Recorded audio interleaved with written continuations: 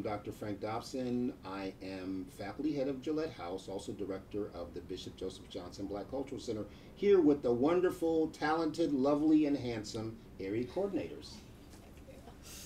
um, my name is Holly Pritchard, and I'm one of the three lovely and handsome um, area coordinators. I specifically work with Murray, Sutherland, and Gillette House. I'm Kate Reed. I'm another one of the three. I work with Crawford East, Stambaugh, and West houses.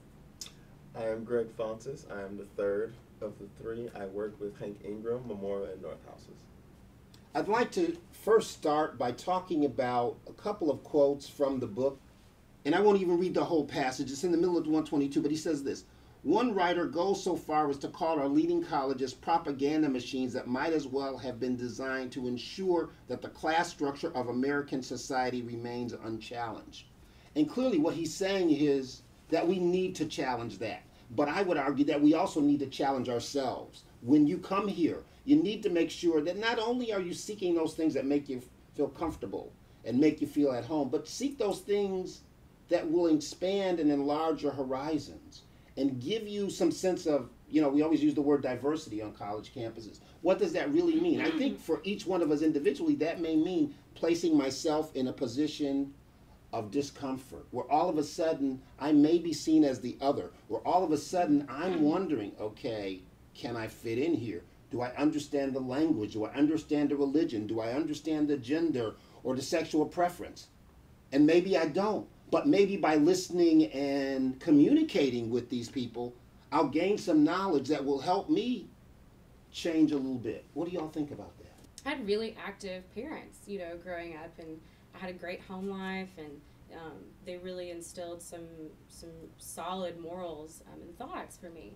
And I think I think a lot of students have that um, in some way or fashion. Somebody who um, invest in them morals and ideals, but you know, coming to school, I think it's a for me. I, I came with the understanding that those were good morals, you know, and those were good ideas, and that's okay to keep those ideas. But it's also equally okay to step into situations or to be so open minded in classes. I took a class on religion, um, and I had grown up, you know, a certain religion, and and um, they talked about stuff that I had not really heard about before, and all, my seat was rocked. Do you know what I mean? In, in that classroom, but to where some, I think the really essential important part is that when you're sitting in a classroom or when you're sitting in a social scenario or when you're in um, a, a, you know, a, a room or hanging out with friends or at the lunch table, it's essential to be open minded. Yes. Um, and to at least embrace what other people are saying, um, whether you take up those ideals or morals or whether you don't.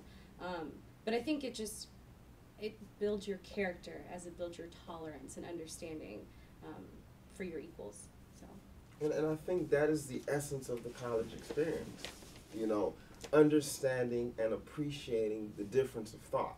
Mm-hmm. You know, challenging yourself to, you know, go out to another religion class. You know, let me learn about this. That's beautiful. Mm-hmm. You know, because now you begin to appreciate there's thought, there's there's things that shape the character of another individual who has the same goals as you. And it's all interconnected, Yes, yes. And so. I, I think It that is. that is such a beautiful thought. And so I would encourage, you know, the incoming class to to go out and branch out you know, to, to learn about something new. This is Vanderbilt University, how I, college in general is a playground to me. It's like a, a, a science lab. You experiment, it's a chance to do it, and no one will judge. Everyone's here to appreciate you, everyone's here to, to, to, to, to go through it with you. And so I think it's just a beautiful thing. I think, um, and and this goes back to what both of you just mentioned, but to be able to come in and prepare yourself for a vulnerability. So Mhm. prepare yourself to to learn from those that you don't expect to. Right. That there are lessons that you can learn from texts, from classrooms, from faculty, from individual conversations, or from spending time with your mind open, pondering. Um, but that also means that there's a vulnerability in sharing of yourself. And so, um, if if there is a way that you can prepare yourself for that, I think that that can help a lot with getting to what you two are talking about. To being able to get there, there's there's a breaking down of walls that has to happen and a breaking down of expectations, um, and then we're able to meet the challenges that have been put forth to learn and, and become our future collegiate selves. I- acceptance, tolerance. Your your roommate is going to be different from you. Um, yeah. They. This might be the first time that you have lived with somebody like. I I personally grew up with a canopy bed and had a little lace covering and I had pink Like carpet. for a princess. Yes, I had a pink carpet and I had a little like quilted, you know, overlay quilt that I had, and all my stuffed animals were on the wall. And then I came to college, um, and I had I had um, like cinder block walls, and it was like a concrete floor. And for me, it was so cool because I was like, oh. First time by myself, and Vivian, you know, my roommate, and all this kind of stuff. And my dad went nuts because he was like, "It does it. It's not pink. There's no stuffed animals. You know what i mean? He just went off the wall. And so i think um, i think parents like you know really want the best for their students. Um, my dad wanted the best for his daughter. Um, but that was the best for me. I loved those cinder cinder block walls. Um, and did i love vivian no, I hope she's not watching this. but no, we weren't best friends. She would sit in her room all the time and watch Gilmore Girls, you know, and I wanted to go out and I'm sorry, I can't do it. I can't do Gilmore Girls anymore.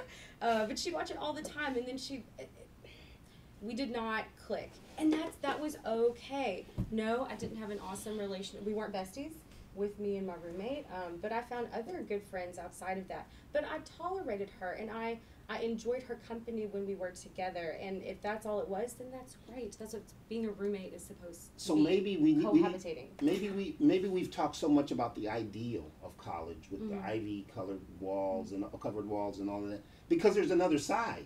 Yeah. It's not perfect. No. and there's stuff that happens. And I, I was a commuter on undergraduate level, but on graduate level, I lived on in a dorm in a residence hall.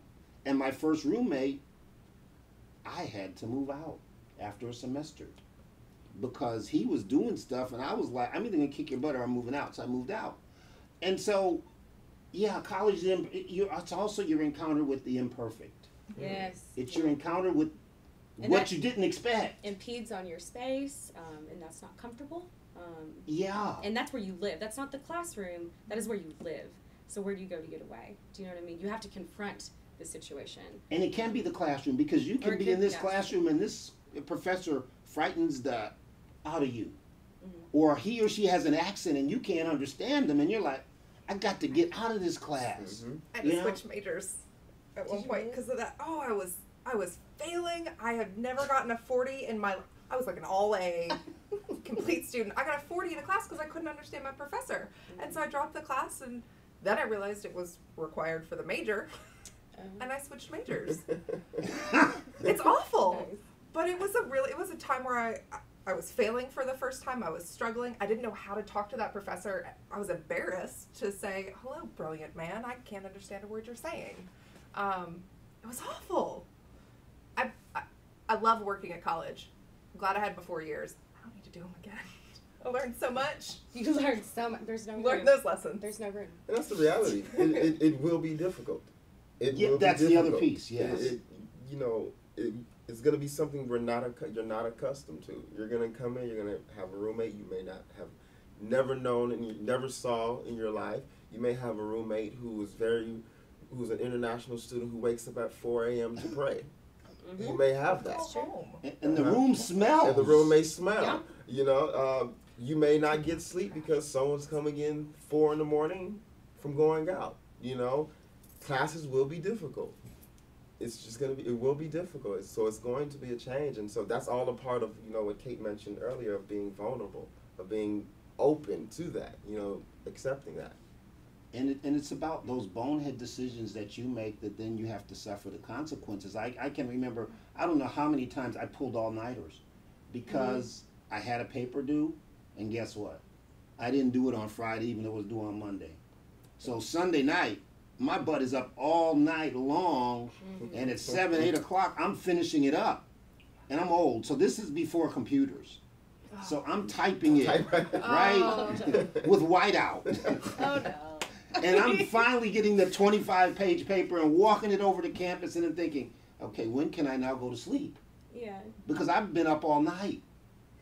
And so that's that's a part of it too, isn't it? I mean, that whole notion of encountering the difficulty, but some of the difficulties are of your own making. Yes. Yeah, There's some lessons you have to learn the hard way, and that's. But learn from them. But you yeah, but then you don't have to do it again. Yes. you went through that experience for a reason, so you could ingest it, learn from it, not do it again. I've got a question for you, Kate. Vulnerability is the word you use. So is college about making oneself vulnerable, do you think? Is it about opening up oneself in terms of this whole notion of being more vulnerable? What do you think? I think that that's I think that that's a way to be successful. I think that Hmm. um, when shutting shutting down or shutting yourself off, which is a really normal uh, response to fear, which there are times where college can be scary, especially that first night. Right. Um, Yeah.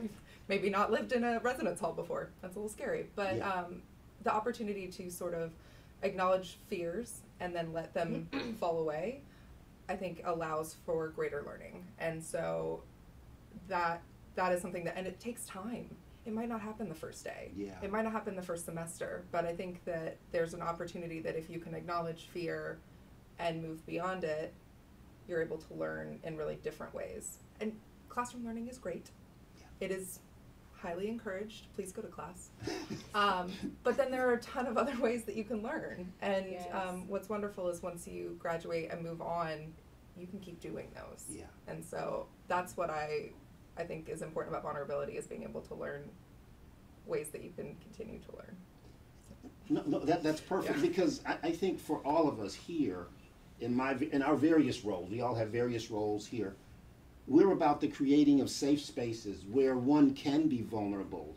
Uh, you can't really see this perhaps, but we have a table on this other side of the room, and much of the time, not only does the Gillette House RA staff, including Holly and I, meet, but our House Advisory Council meets, and groups of students meet, and we have a seminar room across there where we meet and and have Gillette gelato and eat pizza and hear speakers and watch you know movies and talk about them and, and, and all of that kind of thing. And clearly we're always about the creation of safe spaces when we get together. So that one can ask the question or learn from the speaker or ask this other student who's coming from a different country what was it like living in brazil? Or what what made you come to vanderbilt? And and again in doing that one does grow. One becomes more vulnerable because one realizes i grew up in buffalo new york and i've never been to brazil what's it like and and so those educational moments that we've all experienced happen when one gets in those places that are safe spaces that i think we're all about creating mm-hmm. does that make sense? Yeah, I think that's that's a really important piece of, of being able to learn in our houses here is that we feel safe. I do. I love that. Yeah. I feel like there's room to talk about she's raising making like acknowledging that you've made bad friends oh and that you can you can be like I made I met these people the first week of school. They are dragging me down and or I'm dragging them down. Let's go a different direction because you do like you meet people the first day. They're next to you. They're the room next to you. Um, they're in your visions group. They are just adorable at the lunch table. Um, and you meet these people and it's great that first day because you're meeting people and you're doing what you're supposed to be doing at college. You're making friends, and then a week in, you've gotten in so much trouble because you're hanging out with this person, and together your ideas become the worst ideas ever. It's okay to step away. It's It okay to, to be busy when they want to hang out. It's okay Right. to You have use to study. your homework as an excuse to to get away from negative relationships and make friends with new people and you don't have to wait until january to do that. You can do that in september. Yes, you can. And not not everybody comes in and has their best friend in their roommate or has their best friend meets them at the uh, the adorable person at the lunch table you know? Or maybe it's hard for you when you're standing in line to the founders walk to like talk to people. That's okay. I'm awkward too you know what i mean? Like everybody is everybody feels everybody feels that awkwardness of can we be friends? Like i've not met you yet. And it's it, it is difficult um, and so yes you're not on an island of one. I think there's so many times that i have used that phrase um, when talking to students who say oh i haven't met my group of friends yet and I haven't I don't, you know, go out on a Friday or Saturday night. I don't have anything to do and I feel left out. I'm I'm all by myself. And I look at those students and I say, "No, you're not." Because I had somebody in here 30 minutes before saying the exact same thing. Um, and so you're not by yourself, but that doesn't mean um, that you need to just sit idly by. I mean, yes, you can loaf, unless you can think, use that time to think and ponder things, um, but also use that time to go out um, and, and check out like different activities. I, I had never played volleyball, and guess what? I like it. I tried that in intramurals, you know, and I, I enjoyed that. And so, kind of stepping out of your comfort zone, um, joining some of those clubs and organizations, you have to work a little bit harder sometimes to, to bump into people that you're going to be friends with. Um, and so seek out those people. and find a study p- place or space. I mean, whether it's the library, because we do have any number of library. I mean, really, seriously, I meet students and I say to them, "Have you been to the library?" And they said, "No, ever."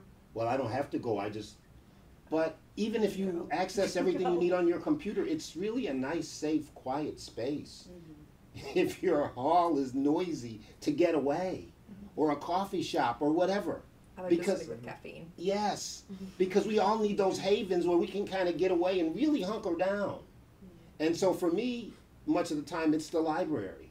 But you need to find that place and that space. And Vanderbilt has any number of nooks and crannies where you can do good, positive things alone.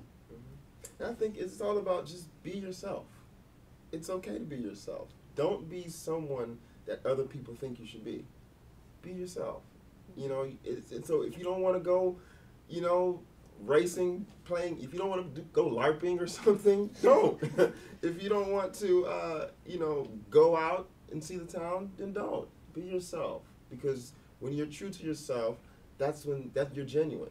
You know, and we can appreciate that. You know, when you come and say, "Hey, I'm not the type of student that parties. I don't want to go party. I just want to stay in and go to the library. But my friends don't want me to. It's not about them. It's about you. It's your experience. Hmm.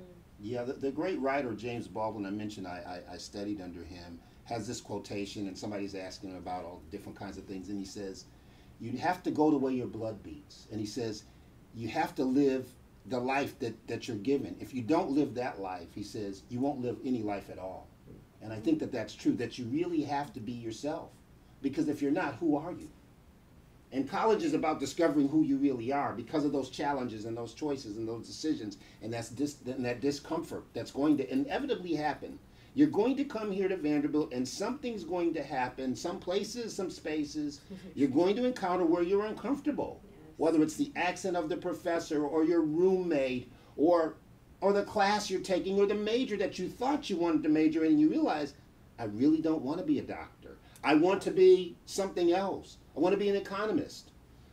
And so that discomfort is going to help you find out who you really are. there, we've created, or you can be in a bubble. Do you know what I mean? Like you can eat and sleep and um, get toiletries, like anything that you want, like toothbrush at the common center. Do you know, like you can do all of these things, and it's a self-functioning place. Um, but sometimes it's really nice to be like, oh, I need to step out for a second, open the door. Um, and just right across the street, you know, there's all these fun little restaurants and little boutiques and coffee places. You can study down there, um, and so that's it's literally what, five minutes, a five minute walk. Yeah. Five minute walk. It's great. We live around all these other colleges too, and so I like studying among other people, but I get really distracted when I study near my friends. And so I go over to other college campuses and will take my books there. Sometimes I meet cool people. Usually I get more homework done than if I did it here, because I would talk to these guys. Um, problem we have a shared office. I get very distracted.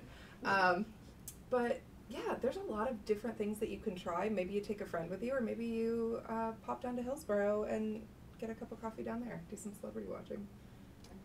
Go to the Belcourt, which is this wonderful art theater that shows all kinds of movies, foreign films, art films, independent films, classics.